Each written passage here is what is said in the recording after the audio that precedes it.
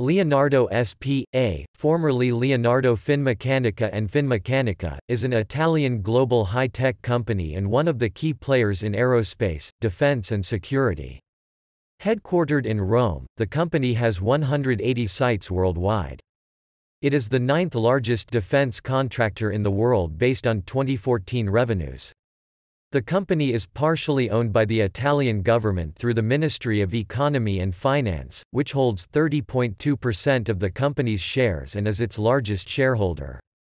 On 1 January 2016, Leonardo Finmeccanica became a single industrial company by integrating the activities of its subsidiaries AgustaWestland, Alenia Aermacchi, DRS Technologies, Selex ES, OTO Melara and WASS. The company is organized into seven divisions and is also the parent company and corporate center for the subsidiaries and joint ventures, Telespazio, Thales Alenia Space, MBDA and ATR.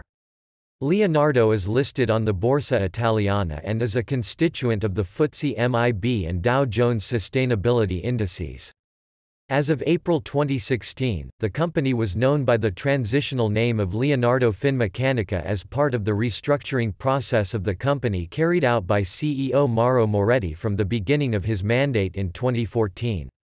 The company changed its name to Leonardo S.p.A. on 1 January 2017, after the Italian inventor Leonardo da Vinci.